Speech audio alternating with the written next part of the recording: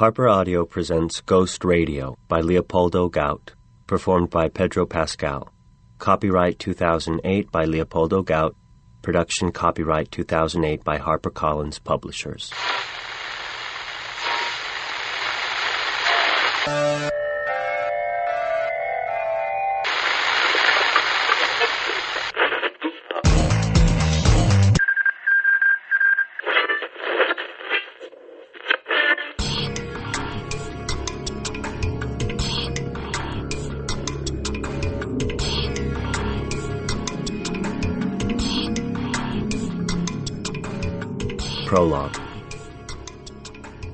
Darkness, it moved, searching for something tactile, sensing the way, following its instincts, for instinct was almost all it had left. Somewhere, some time, some when, it had possessed identity. It had the characteristics and physicality that bound it to a world, but those were gone now. Now it was little more than an urge, a bundled collection of needs with the barest hint of form. But the void around it possessed even less form. It knew that somewhere within this void lay the thing it sought, and so it kept moving. And as it moved, unfamiliar features inside it sprang to life. In a hidden fold of its being arose a thing called language. With that came knowledge and consciousness. Its journey deepened. It passed through a cloud of something it could now call sadness, and wept. It passed through serenity, and its calm returned. Something inside it prickled. What it sought was near, moving toward it, pushing with all its might. The prickling increased, rushing through it like a torrent of needles. It reveled in this sensation, for it signaled that the end of its journey was near. And even as this thought formed, its journey did end. It had reached its destination. As it basked in this victory, a new word appeared, the name for this thing it had sought so desperately, so diligently, and for so long. The word was radio. Chapter 1 The Magic Band. Joaquin turned the dial on his ham radio, letting his fingers rub against the worn edge. He was trolling the six meter band, the magic band, not transmitting, just listening, looking for some conversation, a good rag chew, as the hams called it, that might distract him and help him forget his worries about the coming week. It was called the magic band because of its unique ability, under the right circumstances, to transmit and receive messages over very long distances with short antennas and low power. For this reason, the band attracted a wide range of aficionados. From high school students looking to get the most out of a cheap rig to the kind of techies who casually tossed around phrases like sporadic E propagation and F2 layer refraction. Tonight it didn't feel very magical. Pedestrian was more like it. The conversations were limp and surprisingly sparse. But somewhere around 50.24 megahertz, just past some Morse code warning of thunderstorms off the Catalina coast, he caught a burst of static that intrigued him.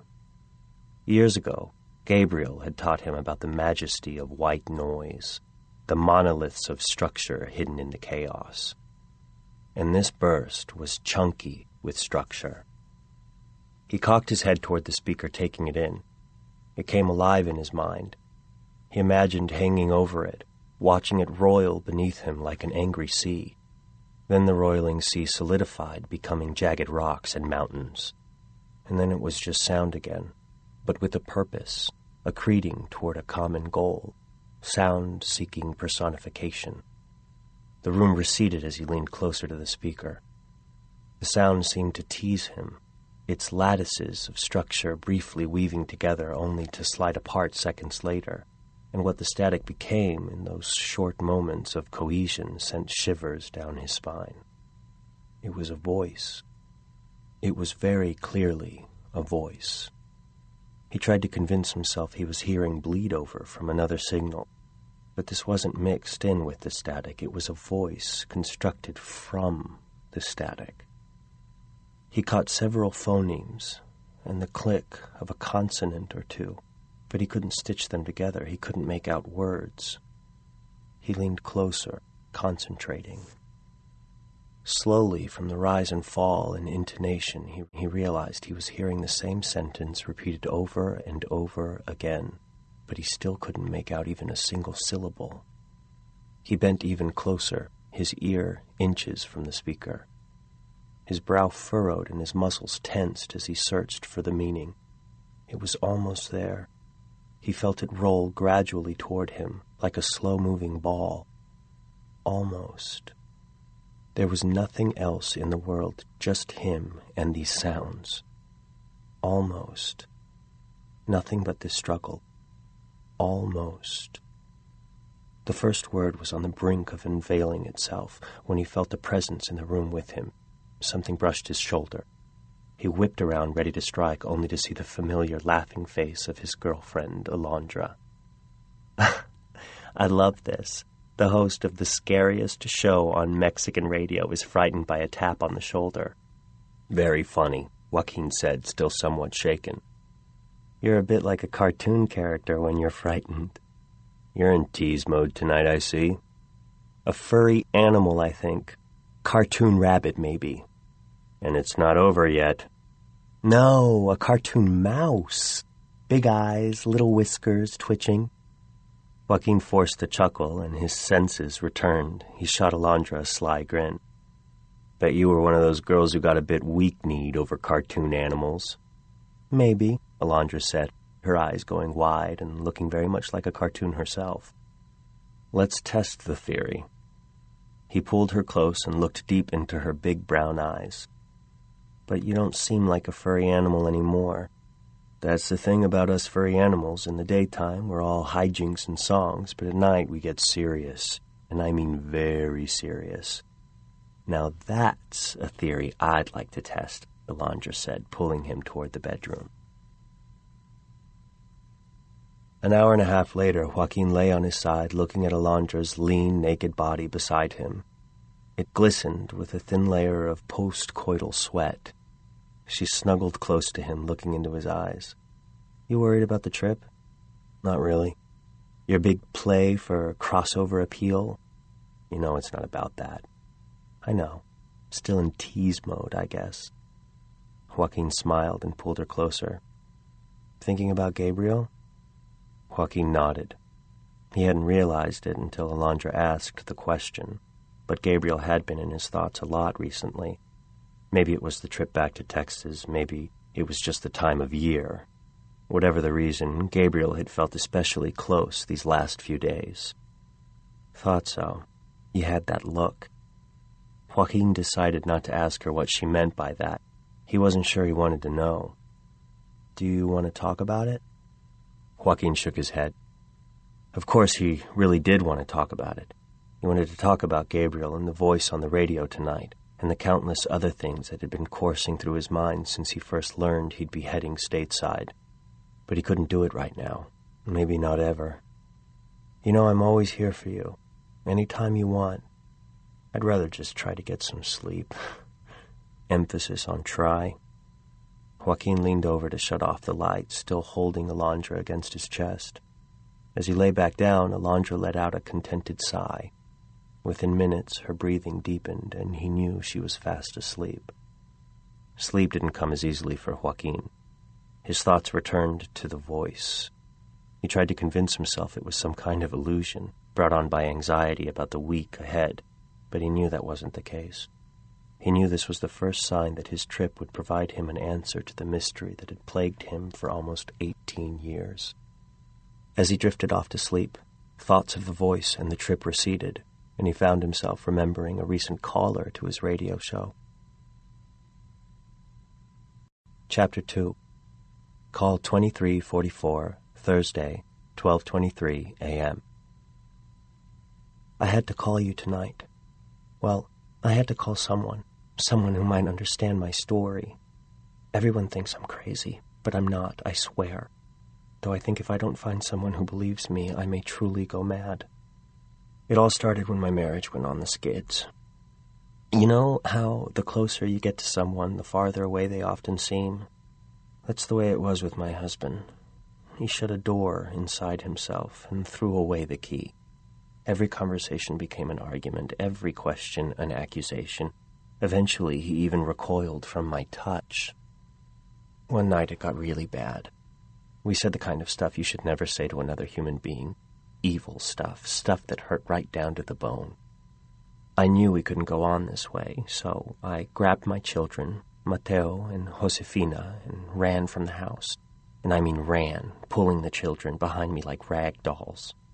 They screamed, they cried, but I just had to move, to feel the rush of wind against my face. Nothing had felt this good in months. After a few blocks, my head cleared and the insanity of my actions kicked in. Where was I going? What would I do? Before I could even begin to answer these questions, I saw a woman waving at us from down the block. It was Lorenza, a friend from my job. She rushed up to us, concerned. I tried to explain what had happened. I don't think I made much sense, but she nodded compassionately, placed an arm around my shoulder, and led me and the children back to her house. She put Josefina and Mateo to bed in her spare room, fixed me a cup of tea, and I had a good long cry.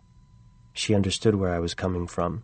She had a lousy marriage, too, and although I'd never met her husband, he sounded an awful lot like mine. The same distance, the same coldness, the same, well, everything. After talking with Lorenza, I realized I couldn't go back. My marriage had been over for years. It had just taken me a long time to realize it. But I still had nowhere to go and no way to get there. Again, Lorenza came to the rescue. She told me that her parents owned a small house on the outskirts of town. They rented it out to earn some extra income, but it wasn't occupied at the time, and Lorenza told me that the children and I could stay there as long as we wanted. It wasn't much of a place, she said, but it would give us a roof over our heads while I planned our next move. She asked if I wanted to go. I nodded. The longer I stayed, the greater the chance my husband might show up looking for me. So we grabbed the children, bundled them into the car, and drove off into the night. We drove for hours.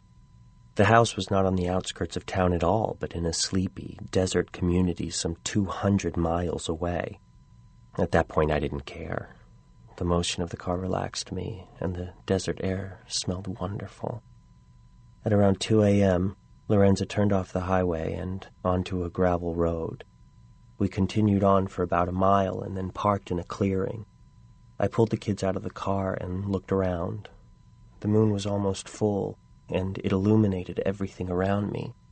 I spotted a cactus or two and the vague shape of distant mountains, but no house. I turned back to Lorenza only to find that she and the car had vanished. Even the gravel road we'd been driving down only scant seconds before was nowhere to be seen. Worst of all, my children were gone. I called their names loudly, frantically, into the moonlit night, but the only response was the wind whipping across the desert and the distant, plaintive call of a coyote. Finally, not knowing what else to do, I started walking. I walked and I walked, each step more laborious than the last. As dawn approached, I reached the highway. After several minutes, a car picked me up and drove me to a nearby bus station. Once inside, I found a payphone and called my husband. I was shocked when Lorenza answered the phone. I asked her if Josefina and Mateo were all right. She told me they were, but was curious about why I wanted to know.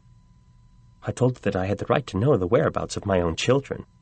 Your children, Lorenza said. Josefina and Mateo are my children. I can't remember what I said next. I screamed. I wept. I sounded like a madwoman. Finally, Lorenza put a man on the phone. A man she called her husband. I recognized the voice immediately. It was my husband. He spoke to me calmly, sounding as distant as ever. Chapter 3 The Past Encroaches. Get into the cab, we're going to miss our flight, Alondra said insistently. Joaquin wanted to comply. The car was only inches away. He could be inside it in seconds, but he couldn't move. It was the car, a 1990 Ford Taurus. Color, metallic green. Fleetingly, he wondered why a taxi service would use such an old car. But this thought was quickly pushed aside by a crush of memories about a car just like this and a trip so long ago. He could smell the upholstery, see the back of his father's neck, and feel the ground bumping beneath him. The memory was so vivid it almost hurt. He could even remember how the volume knob felt on his beat up Sony Walkman. Joaquin, come on. Joaquin took a deep breath and reached for the door handle. Chapter 4 1990 Metallic Green Ford Taurus. Joaquin stared out the car window, listening to a mixtape on his rundown Walkman. The sun, suspended in a bright, cloudless sky, swept the highway with a harsh, blinding light. He found it hard to keep from blinking. He maxed the volume. Another sunny day, he thought, squinting at the passing vehicles through the insect graveyard on the windshield. The sun had shone this way before. It would shine this way again. A forgettable day. An anonymous day. But Joaquin welcomed this. He wanted this day, this trip, to be over as soon as possible. He wanted to return to Mexico unaffected, unmarked. So much had gone right in the last few weeks. Things that had never gone right for him before, things that made a difference, things that made him happy. He prayed that nothing on this trip would change that. A lot of 15 year olds say prayers like this. They're rarely answered. This one wouldn't be either.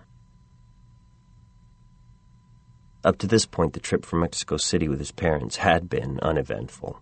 Airport to airport with no delay, through customs without a hitch, their luggage among the first off the carousel, and there wasn't even a line at the car rental place. They grabbed a quick bite at a roadside steak joint and then headed for downtown Houston and their hotel. Joaquin hoped it would continue this way. Then his father opened his mouth. What do you say we take a tour through the Skyline District before hitting the hotel, Joaquin? I really want you to see that Dubuffet. Joaquin cringed. Dad and his art lessons. Why was it that adults always wanted to teach you boring stuff? Dad, I'm actually kind of tired, Joaquin said, hoping that would be enough. It wasn't. This Dubuffet changed my life. You're going to look at it. Joaquin sighed, resigned to his fate. At 15, the idea of a family trip felt ludicrous to him. His differences with his parents, more now than ever before, seemed as vast and impassable as the empty, silent reaches of outer space.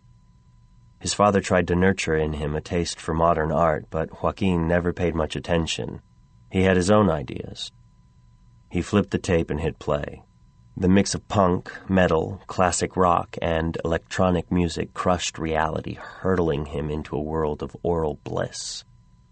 As Tangerine Dream's Phaedra came on, his father stopped the car in front of 1100 Louisiana Street.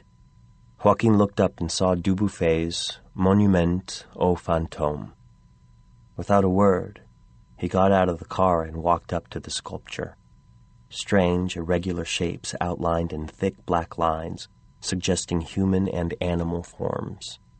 Christopher Franke's Moog synthesizer caressed these irregular forms while the amber light of sunset gentled against the rough edges. He was captivated by the sculpture. He moved into the center of the piece and sat cross legged on the ground. He looked up, watching clouds roll overhead through Dubuffet's embracing forms. As he unhurriedly slouched back to the car, he felt a strange sensation, as if he'd spied the corner of some immense, hidden object. It sent a tiny bat squeak of recognition through his body. Had his father's lessons finally sunk in? If true, he wouldn't let on. Ever. What do you think about Dubuffet? asked his father. Like him. Already knew his work, mumbled Joaquin, and then was silent. Those were the last words Joaquin spoke till they arrived at the hotel. His parents were accustomed to these long silences. Joaquin often milked the silences, hoping they might read his teenage angst act as something more profound. Not today. He wasn't thinking about them. Something else occupied his thoughts. Her name was Claudia Guerrero. Considered the prettiest girl in school, she had filled his thoughts for months, even before they started dating. They had intended to spend the weekend together unsupervised. Every teenage boy's dream. A weekend alone with the hottest girl in school. But this trip had blown that out of the water. He tried to convince his parents to let him stay, but they wouldn't budge. Your grandmother is very sick. Who knows how much more time she has, his mother said. Just the same, he didn't know how long his relationship with Claudia would last, and to lose that precious time was devastating. Doubly so because Claudia's parents had kept her under close watch after finding a pile of Polaroids of a dick. Ernesto Myers, they later learned, in their daughter's mouth. It didn't help when she explained that all of her friends had pictures just like those. Joaquin's argument did gain him something. His mother agreed to buy him an inexpensive electric guitar. The bribe worked. He stopped resisting the trip. Immediately afterward, he regretted it. Why did he give in for so little? He should have insisted on a vintage 62 Stratocaster, or at least a Fender. At the hotel, while his parents were out, Joaquin called Claudia. She picked up on the second ring. He immediately launched into a rant. He told her that he was fed up, that he hated the food and the hotel. There was nothing that disgusted him more than hospitals, he would have to spend the entire next day in one. When he tried to tell her about the Dubuffet sculpture, he couldn't find the right words to describe it and ended up changing the subject. He was too embarrassed to tell her that he loved her or missed her or that he wanted to touch her breasts. So he said goodbye with a cold ciao. Ciao. Excellent move, he thought. The conversation frustrated him. For a while, he lay in bed and watched TV. He wasn't enjoying it at all. He couldn't believe the caravan of imbeciles that paraded around, submitting to the most ridiculous stunts imaginable. He fell asleep, numbly contemplating the decomposing wasteland of late night television. The next day, after a bland hotel breakfast, they got into the rented Ford and went to the hospital. Joaquin listened to the dead Kennedys. Efficiency and progress is ours once more, now that we have the neutron bomb. It's nice and quick and clean and gets things done. His parents listened to the radio, some talk program. Under Biafra's growl, he heard a voice say, You really should listen. He rewound the tape and played it again. It wasn't there. Weird, he thought, but must have been my imagination. But somewhere deep in his brain, nestled in the limbic system, a preternatural fear arose. Danger was near. Chapter 5 1990 Black Volvo, Model 740. Gabriel stretched out in the back seat, but the minute sneakers met leather. If you lay down back there, take your sneakers off. Gabriel moved his legs slightly so his feet just dangled over the edge. Gabriel, I'm serious. Dad, they're not touching the leather. Gabriel. With a grumpy sigh, Gabriel sat up. Dad and his pristine leather seats. Fuck him. What's with him in this car? Gabriel thought as he stared out the window. It was all so boring.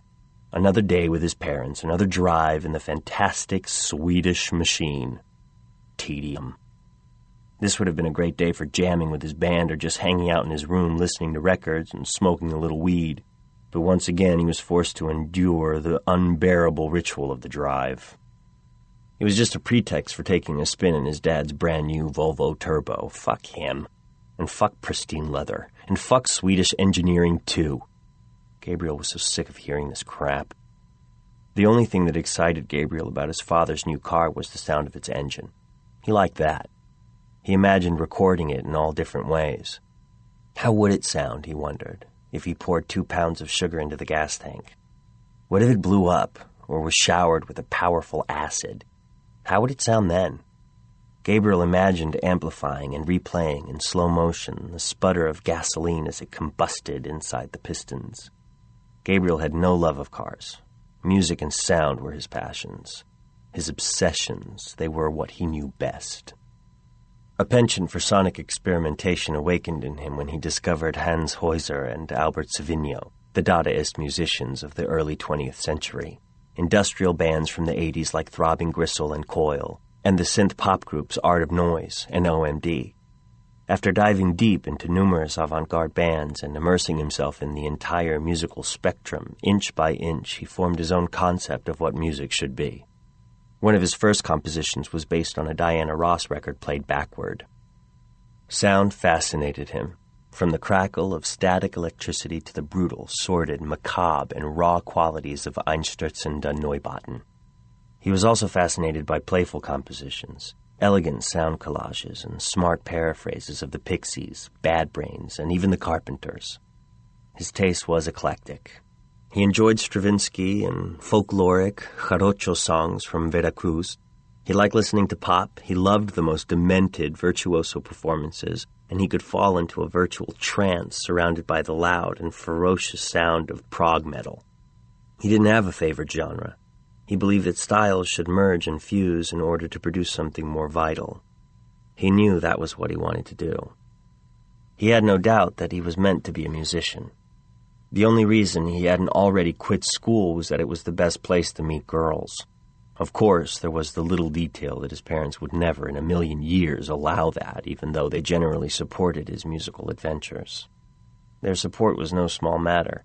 His acoustic arrangements were loud, incoherent cacophonies of incongruous sounds that would drive anybody crazy and frequently did.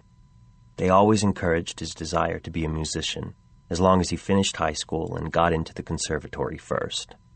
Likewise, if he continued with photography, he would have to take it seriously and probably go to art school. This, they said, would allow him time to give it careful consideration, to avoid making a decision he'd regret. Imagine what it would be like if you realized at 40 that you chose the wrong profession. Just think about how hard it would be to change your direction at that stage, his father always said. Gabriel knew he was right. The life of a musician could be difficult. Most ended up doing menial jobs just to put food on the table. On one occasion, he had even answered his father by saying, I don't plan on living that long. Because of this offhand remark, Gabriel's parents sent him to a psychologist, Dr. Kraus. Right out of central casting, he was bald and bearded, with a stern mouth and soft, considerate eyes. By the second session, Gabriel had the doctor snowed. He made Kraus believe that he had religious hallucinations, homosexual desires, parricidal instincts, and later, as he improved his routine, bulimia and attention deficit disorder. Gabriel read psychiatry books to better craft his imaginary conditions. He studied Freud, quoting cases verbatim, leaving Dr. Kraus confused and frustrated. After six months, he resigned from treatment, a final admission that Gabriel was immune to his methods and techniques. To the untrained ear, Gabriel's music sounded chaotic, an auditory jumble, yet a patient, educated ear heard form and structure. Gabriel had a natural aptitude for composition. He created strangely elaborate soundscapes, canons, fugues, exceptional paraphrases, and interpretations of a variety of musical forms, both classical and popular.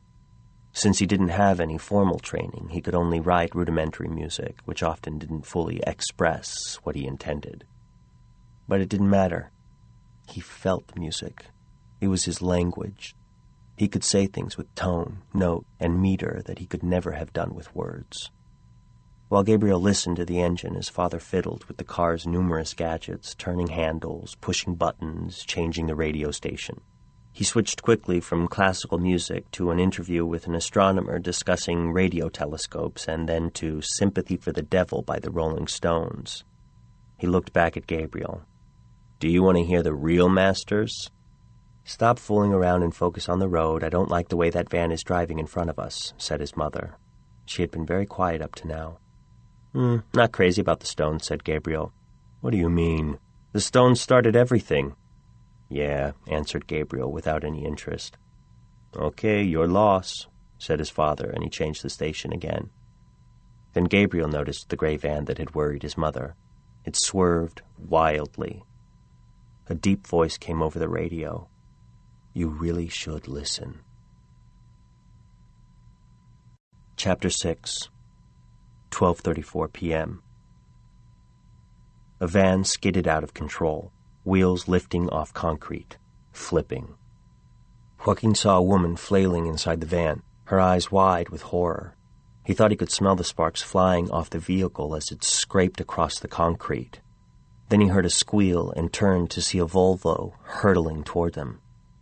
Gonna kill, kill, kill, kill, kill the poor tonight, Biafra howled in his ears.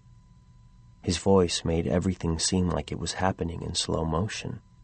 A strange apathy overcame him. He found himself studying the Volvo driver's face as it careened toward him. It was a pleasant face, only slightly marred by the rictus of fear. It looked familiar. Did he know this person? He wondered.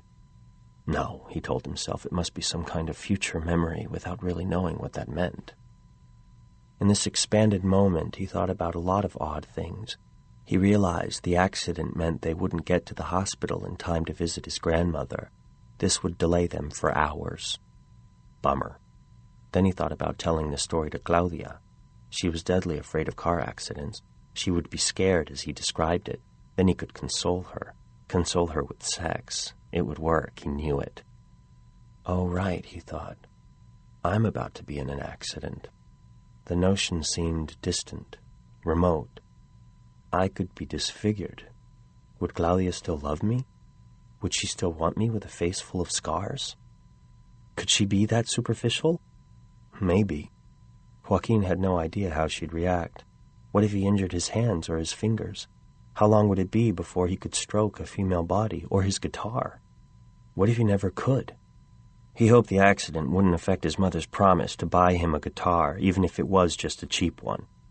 In Guitar Player magazine, he'd seen an ad for a store in suburban Houston where they sold used fenders at unbelievable prices. He'd written the address down on a piece of paper that he put in his pocket. Maybe he'd at least get a fender, not the cheap Japanese job he'd almost settled on. He'd forgotten about writing down that address. Why had he forgotten? The moment this thought crossed his mind, a sound like a thousand power chords filled his ears. Bits of twisted metal flew at him from every direction. Oh, right, he remembered. I'm about to be in an accident. What's happened to gravity, he wondered. Everything went black. Chapter 7 12:51 p.m. Gabriel opened his eyes.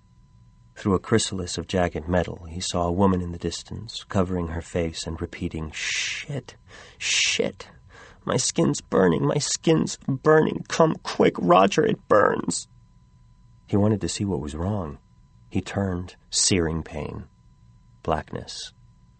Fourteen minutes later, Joaquin awoke on a stretcher with an oxygen mask strapped over his face. He could only see rough shapes, and he heard voices, distant, garbled. Front seat. Killed instantly. Meat wagon. Another voice mixed with his, complaining. Can you imagine? What would you do if your boss said something like that? The first voice again, clearer. You did the right thing, but you gotta think about how this is going to affect your retirement. Pass me the scissors. Thanks. There's nothing more we can do here. How long before the meat wagon arrives? He couldn't understand what they were talking about. It was as if they were referring to strangers, for a moment, he thought he was hearing a medical show. He continued to listen. If we can't stop the hemorrhaging, this one's going to code on us, said another voice farther away. I don't like these shows, Gabriel thought. I'm going to change the channel. Where's the remote? Will someone pass the remote? He heard laughing and a joke about couch potatoes that he didn't understand. Then he sank back into the blackness. Wonderful welcoming blackness. Chapter 8 A Voice at 30,000 Feet. Blackness. The lights flickered several times and then sprang back to life, filling the plane's cabin with a warm glow. Joaquin glanced at Alondra. She was asleep. He brushed a strand of hair from her face, and she let out a peaceful sigh. Sleeping, she looked like a different person, a calmer, more centered soul. Joaquin wished he could join her, but he always had difficulty with this, and on planes it was virtually impossible. He picked up his book and tried to read, but his mind wandered, and he found himself becoming intrigued by the sound of the engine. What had been a mere background hum revealed deeper and more specific characteristics. He put down the book, cocked his head, and listened. Concentrating, he heard organic rhythms, almost like breathing, hidden within the blare. He looked around the cabin. The other passengers went about their business, unaware, reading, chatting, drinking, and eating, oblivious to the symphony surrounding them. Joaquin looked away, drawn in by the sound.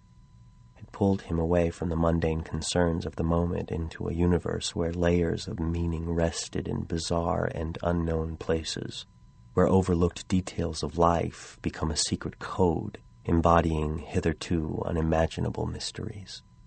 Dragging him deeper into this world was the increasing feeling that there was sentience coiled within the engine noise. He leaned his head against the window, pressing nearer to the vibrations. He hoped this closeness would not only allow him to hear more clearly, but bring him into communion with this awareness, make him part of it. With his ear to the window, he did pick up new layers. The pulsating rhythm under the hum shifted from merely organic to distinctly human. It became the labored breath of a human being, a person gasping for air, a person trying to speak. He mashed his ear harder against the window and stilled his own breathing, willing himself to hear, willing the engine to speak. A part of his brain told him this wasn't real, an aural illusion, but he quieted that voice and listened more intently. All the extraneous noise fell away, and only the strange labored breathing remained. Joaquin heard the rasping of dry, cracked lips, the suggestion of a tongue sliding across the roof of a mouth. He almost saw the mouth, a mouth flecked with blood, the victim of some trauma, an act of violence that made speaking all but impossible. He held his breath and sent out calming, soothing thoughts, hoping to ease the being who owned this injured mouth ease its mind, and help it speak. At first, he sent this request out as a feeling, just an amorphous suggestion, but his desire to hear more coalesced into words, not spoken, but as real as if they had been. The sentence in his head began in a vague and rambling form. Come on, please speak. I want to hear your voice. Come on. Come on. Then he pared it down simplifying it into the essential request. Come on, talk. Then it just became, talk. He repeated the word over and over again in his head. Talk, talk, talk. He waited and listened. He heard the dry lips crack and the breath gasp in an elephantine struggle for speech. Talk, talk, talk. The gasps increased, a desperate attempt to fill lungs which could not possibly exist with air. Air so this hidden sentience could finally deliver its message to Joaquin, and he desperately wanted to know what that message was. He switched to a coaxing word. Yes. Yes. Yes. The gasping stopped. Joaquin's skin prickled as he waited for the first word. The seconds ticked by. Tick, tick, tick. The moment expanded. The cloud of now hovered around Joaquin, embracing him with its large maternal hands. Thoughts of destiny and the buried mists of his painful past rose slowly to the surface as he waited for a word. He closed his eyes, willing himself deeper into the communion, deeper into this new world. Images flashed through his mind, faces contorted in pain, burned flesh, walls splashed with blood. Still the being did not speak. Joaquin felt his entire body tense, his eyelids jamming together, his hands clenching into fists. The plane shook, knocking his head against the window. The lights flickered. He sat back, rubbing the side of his head. His link with the being, the sentience, was gone. The plane lurched again, Something skittered across the floor, knocking against his foot. He bent down and picked it up. It was an iPod. Through the headphones, he could hear the words of a familiar song Kill, kill the poor. Chapter 9 Dead Kennedys in an ambulance. Gabriel felt himself being lifted into an ambulance. Through bleary eyes, he saw another stretcher rolling in alongside him. On it lay another boy about his age. He looked battered and bruised. His eyes flickered open and closed. The boy seemed to be struggling for consciousness. Two paramedics got in and the ambulance took off, sirens wailing. Gabriel stared at the boy. He wondered if he looked as bad. The paramedics were working around him, putting some kind of needle in his arm. But it all seemed far away, as did his pain. He felt like he had a broken leg, but it was information from outside, like a telegram he'd received from a far off land. The boy next to him began to hum as if his life depended upon it. Maybe it did. Over the blare of the siren, Gabriel recognized the lines from Kill the Poor by the Dead Kennedys. That song had been running through his head lately. An odd coincidence, he thought. He started humming as well. The other boy caught on, and this seemed to energize him. Then they sang together. Jobless millions whisked away. At last we have more room to play. All systems go to kill the poor tonight. Gonna kill, kill, kill, kill, kill the poor tonight. Gabriel knew they weren't quite capturing the spirit or energy of the song, but he found this punk anthem comforting. It was as though the song had been created for this moment, for this purpose. A giddiness swept over him, a joy unlike anything he'd felt in his short life. Sure, it might be the painkillers pumping through his veins, but he didn't care. He embraced it. The paramedics laughed at the strange display, but Gabriel kept singing. Perhaps he subconsciously understood the darkness of this day. Perhaps, somewhere deep in his unconscious, he knew of the pain and grief that lay ahead. But now, it was just about this odd duet. It was about dreaming himself into some dingy punk club, standing on the stage, screaming into the microphone while he looked down at the roiling mosh pit below, giving voice to the pain and cynicism of a generation of lost youth. The crowd shouted and cheered. He was in that club, singing his heart out until he finally lost consciousness. Chapter 10 St. Michael's Hospital When Joaquin opened his eyes, he was prostrate in a bed. He knew he was in a hospital and realized that intense pain had awakened him. There was someone in his room. She was dressed in white. He asked her about his father. Without even turning to look at him, the nurse answered as she left the room. Dead, just like your mother, both of them dead. He didn't see her face. He tried to yell and call her back, but no sound came out. He couldn't move. He spent the next few hours suffering, immobilized, in profound silence, surrounded by blank white walls, sweating, shivering, every bone in his body hurting. When the doctor on call finally arrived, Joaquin told him what the nurse had said. The surgeon, visibly upset, left the room without another word. Joaquin heard raised voices in the hallway, then deeper, more professional tones. Several moments later, the doctor returned. I want to apologize on behalf of the hospital. This is not how we do things. I'm profoundly sorry, the doctor said. That's okay, Joaquin said, not sure why he was so forgiving. If it's any consolation, they didn't suffer, in these types of collisions, death is usually instantaneous. Joaquin found himself wondering why a painless, instantaneous death should be thought of as comforting. It terrified him. Son, you have some hard times ahead. You're going to have to be very strong. Across the hall, in another white room, Gabriel opened his eyes. Almost before he was fully conscious, he was yelling yelling for someone to come. No one did. He found the call button and pressed it. Moments later, a nurse entered. My parents are dead, aren't they? I wouldn't know that. I, I wouldn't know. You'll have to talk to the doctor. Are they dead? he asked, raising his voice. The nurse looked at him. The mixture of compassion and pity Gabriel saw in her eyes was all the answer he needed. He sank down into the bed. The notion of tears crossed his mind. None fell. Both boys were alone, wounded and scared. Their futures were suddenly completely unsure. Joaquin's only relative in Houston was his grandmother, who'd undergone surgery a few hours after the accident. No one knew about the deaths until after the operation was over.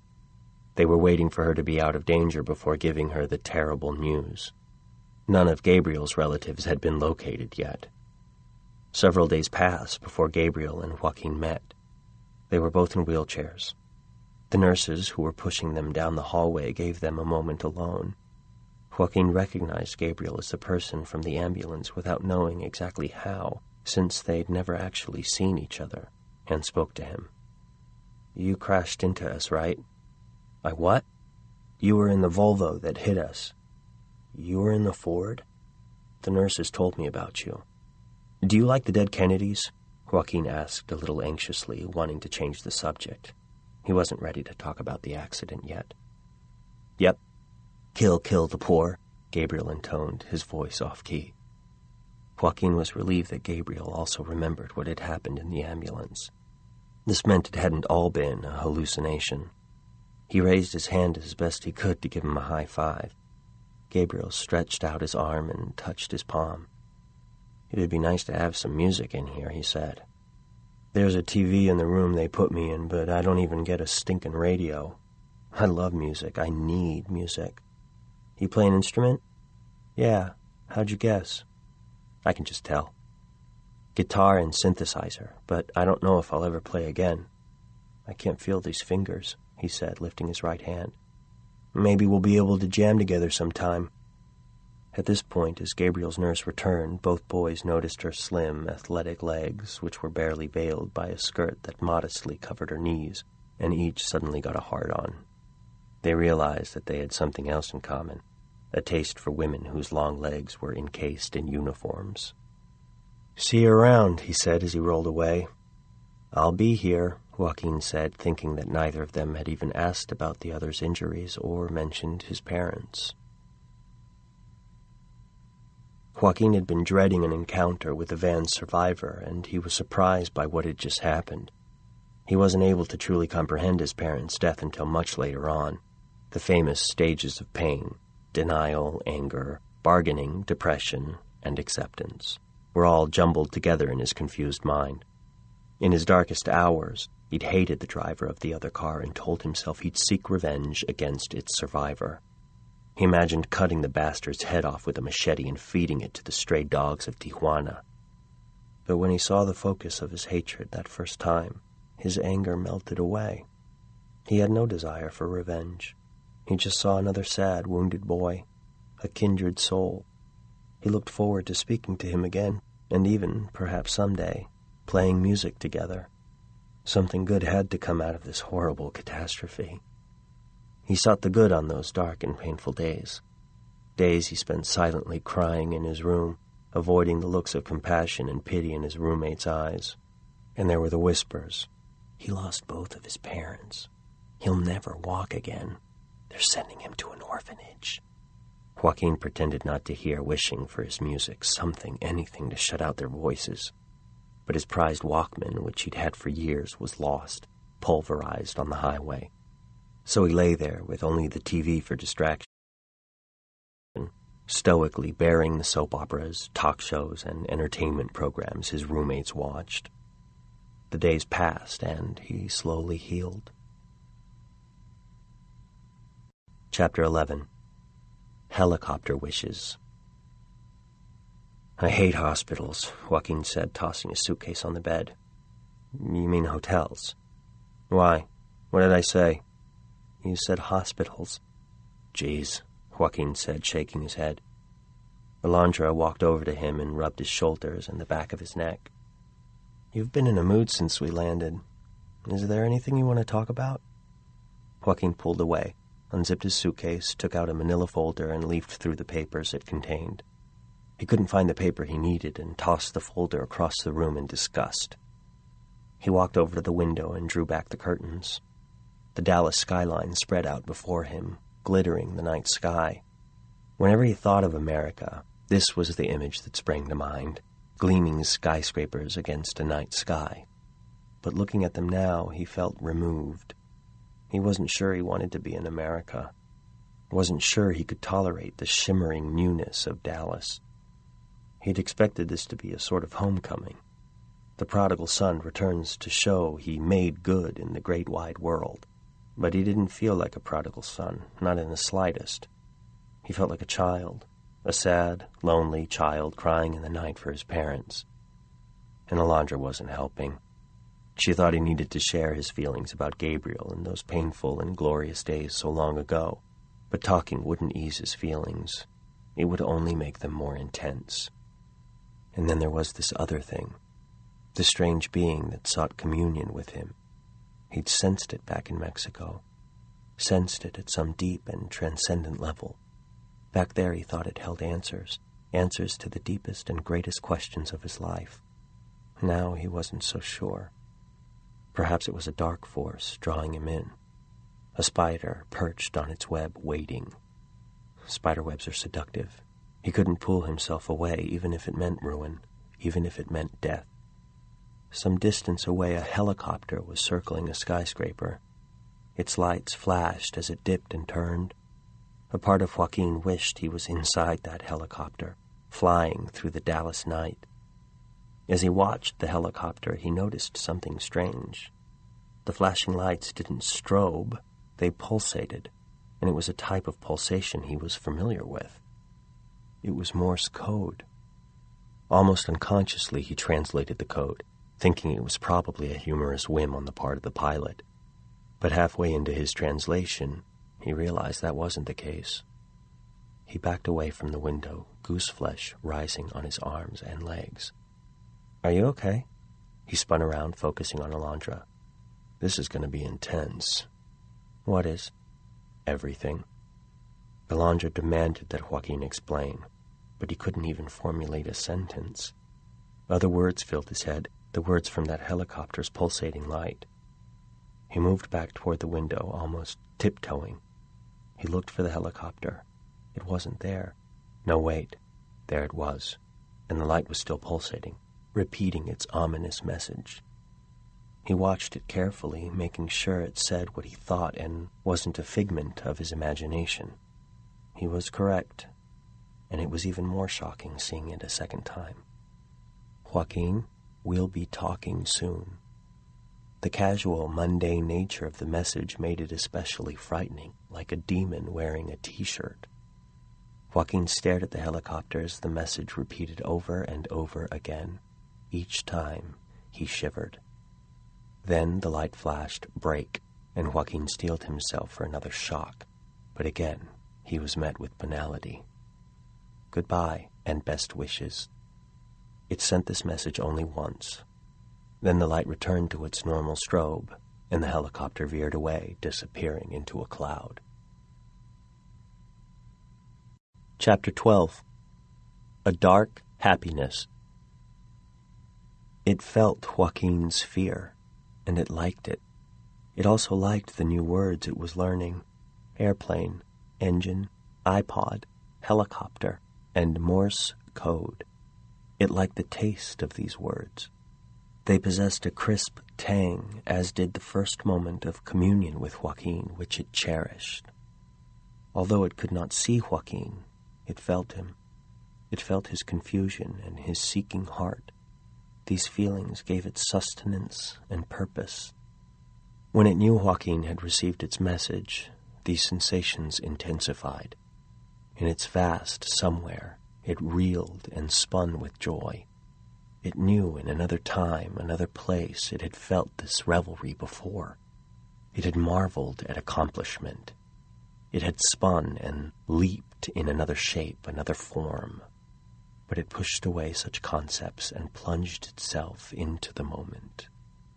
As it felt Joaquin receiving the words again, it drank in his fear, gobbled up every morsel. And once again it whirled and whirled marveling in its supreme majesty. Abruptly, this jubilation stopped. Joaquin was gone. It was alone. Alone? This too was a new word, but this one tasted sour. After swallowing the word, it felt empty inside. Emptiness, another distasteful word. This further emptied it. It became so hollow it couldn't move, so it drifted down into the dark valleys of its some place. It felt dissipated. It wanted to give up. Then a power coiled deep inside sprang open, filling it with energy. It couldn't immediately identify this new energy, but it welcomed and embraced it. As it careened around its world, it remembered Joaquin's fear and the lovely taste. It wanted more. It needed more. Now it knew that no matter what happened, no matter what, it would find that fear and devour it. Chapter 13 Minibar Maxi Problem Alondra shot out of the elevator and headed down the corridor in search of Watt's room. After several wrong turns, she found it and knocked on the door. Watt answered, wearing a hotel bathrobe and holding a cocktail in one hand and an open jar of macadamia nuts in the other. Hey, Alondra, he said, ushering her into the room. Just hitting the minibar a bit. A bit, she said with a chuckle. There was a range of electronic gadgets strewn about the room. A Nagra tape recorder sat on the bed. A cornucopia of microphones erupted from a black plastic case. Some battery packs and chargers sat on the dresser. And on the floor lay a battered laptop connected to a variety of devices via a spiderweb of USB cables. Other than a black iPod, Alondra couldn't identify most of it. Could I get you something to drink? What are you having? Red Bull and vodka? Ew. Alondra said with a shiver of disgust. You should try one. It's really good. No, I think I'll pass. But the vodka sounds good. I'll have that. Ketel One, if they have it. Watt opened the minibar and scanned the shelves. Hmm, Ketel One, Ketel One. Ah, there it is, he said, snatching a bottle. Want anything with it? Ice and, uh, tonic water? Watt grabbed a few cubes from the ice bucket, cracked open the bottles, poured with a bartender's flourish, and handed Alondra the finished product. She accepted the drink, sat down on the edge of the bed, and took a sip. The cold vodka tasted crisp and clean, and she had an intense flash of a sauna she'd visited in Finland. So, how's the man? Watt asked cheerfully. That's kind of why I came down here. Really? Something wrong? I'm worried about him. What's the matter? He's got the jitters or something? No, I mean worried. Mm, not sure I get you. Alondra sipped her way back to Finland and took a long, deep breath. Well, she said, searching for the right words, it's like, um, God, it's like, um, shit. I don't. Come on, just spit it out. Geez, I thought I was supposed to be the one with communication issues, he said, popping a nut into his mouth. Okay, I'll just say it. Seconds passed. Alondra remained silent. She looked into Watt's expectant eyes. She'd always liked his eyes, wide, blue, intense, and dotted with flecks of green. But as much as she liked them, she expected them to narrow in disbelief at what she had to say. She just had to get it out. And so, after another quick trip to Finland, she did. I'm worried about his sanity, she said. As she'd predicted, Watt's eyes narrowed, and he turned away. Oh, don't be ridiculous. I'm serious. Well, of course he's crazy. I mean, we're all crazy. But he's not crazy crazy. I'm not so sure. Watt paced as he went on a long, rambling rant about everything he knew and felt about Joaquin about insanity and how it works, about why Joaquin didn't fit the criteria, either constitutionally or pathologically, and on and on. Alondra tried to listen, but the words became a background hum. She was too worried to accept what sounded like rationalization. Finally, Watt stopped talking. Alondra looked up. Watt must have sensed her desperation because he grabbed her by the shoulders and, staring into her eyes, said, He's fine. He really is. This is an intense time for him. Cut him a little slack. Alondra looked away. Okay, okay, Watt said. I'll tell you what. Tomorrow morning, I'll have breakfast alone with him. I'll pay attention. I'll listen to him. I'll keep an open mind. Alondra looked down at the bedspread. Its blue and green lattice pattern perfectly reflected the mix of complexity and order she currently sought in her life. Maybe Watt was right. Maybe there was nothing wrong. Maybe she was projecting her own fears and concerns about the show and their life together onto Joaquin. She really wasn't sure. Alondra, did you hear me? You can't have breakfast with him tomorrow. He's doing an interview with Newsweek magazine, she said, her eyes still fixed on the blue and green bedspread. Chapter 14 The Interview Before entering the cafe, I called Alondra. She answered with a long, languid hello. She knew it was me again, trying to convince her to come to the interview. Alondra, what is it now? I just wanted to be clear. I'd be happier if you were at the interview with me. And I told you I would if you have lunch with me and talk about what's going on. There's nothing going on with me. I'm just worried about the show. Even you don't believe that. Will you be there? Alondra hung up. She was probably right. I should talk to her about what has been going on, but I know it scares her when I talk about these things. She always says, This is just crap from your show. Don't bring it home with you. She was right. Partly. Hell, one of the reasons I created Ghost Radio was to convince myself that the strange experiences I'd had were nonsense. Of course, another part of me had launched the show to justify them. And now I was minutes away from glossing over these salient facts, promoting the show as an entertaining bundle of things that go bump in the night. I knew that was another reason Alondra wasn't eager to join me for this interview. She hated this crap. She wasn't interested in having to answer fatuous questions like, Isn't it difficult to work with your significant other? I couldn't imagine her revealing such intimacies to a stranger. She was already ambivalent about participating in Ghost Radio. It had taken a lot of coaxing for her to accept the role of co host. She claimed it could affect her credibility as a researcher and professor, but I knew it wasn't that.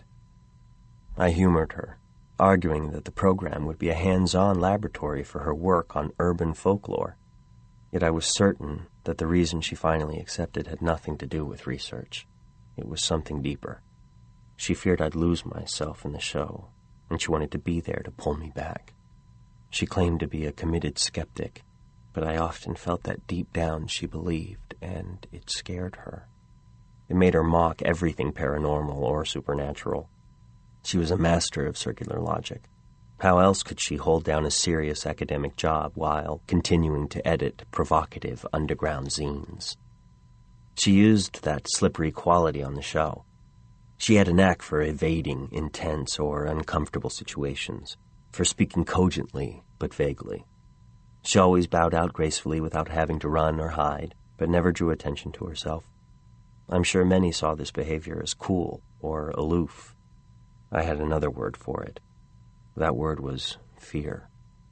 Whatever her stated reasons, I was sure that this was the fundamental reason she hadn't joined me for the interview. She was afraid. I entered the cafe lost in these thoughts. The reporter from Newsweek was there waiting for me. He was easy to spot. His recorder sat on the table, and he was simultaneously talking on his cell phone, taking notes, reading emails on his laptop, and frenetically typing a text message into his Blackberry. A pile of magazines and newspapers filled the only empty seat. Joaquin, I said, offering my hand. The reporter shook it tensely and made a mute grimace that might have meant, pleased to meet you, followed by a quick, give me a minute hand raise. One by one, he terminated his communications. It was like watching an assembly line robot. Then he cleared the chair and finally looked me in the eye. Sorry about all that. I'm supposed to do this interview with Nicole Kidman, and her people just got cute. I saw through his attempt to develop a bond with me by letting me in on this little confidence. Again, I didn't see this interview with Newsweek as a personal triumph. I had no love of publicity. On the contrary, I didn't trust it at all. But I wanted people to listen to my show, and this would help make that happen. As a consumer of popular culture, I appreciated that Newsweek's interest meant that Ghost Radio had made the jump. It had slipped out of the fringe and into the mainstream. The reporter introduced himself as Eric Prue, then immediately launched into comparisons between my program and the TV series Ugly Betty, a Colombian soap opera that had streaked its way like lightning into an American primetime slot. I replied that comparing a soap opera to a program like mine purely on the basis of their Hispanic origin seemed simplistic to me. I stopped myself from adding that it seemed idiotic and borderline racist. Should I have stopped? Maybe that tack would have worked. Instead, I accepted the general amazement that these programs had garnered acceptance from a public that is not used to consuming foreign culture. I almost used the word alien, but caught myself at the last second. I spoke about how the program had started in Mexico, spawned with no expectations. It happened pretty much before I realized what was going on. The music program I was hosting started to revolve more and more around the death themed readings and comments I made between songs, but things really took off when I started taking calls on the air. So many wanted to talk about the supernatural, and I let them. The program evolved. It grew and expanded, becoming something new and different. This wasn't entirely true, but it was the story I always told. I told Prue that my main influence, although I wasn't really aware of it at the time, was another radio show that I discovered and listened to compulsively while I was hospitalized in Houston after the accident that killed my parents. I loved its horror stories, which still fascinate me and on occasion still terrify me, but I loved its format even more. It was thanks in large part to that program that I was able to begin to recover from the tragedy I had endured. When was this? 1990? Prue nodded and made a note in his pad. I could read his scrawl even upside down. It said, Research, Supernatural Radio Show, Houston, 1990. But you said that your show's format happened almost accidentally. This story makes it seem more like a plan. You might think that, as the host, I guided the program. In fact, it was the program that guided me. Within a year, we had an extremely loyal fan base, some obsessive, troublingly so.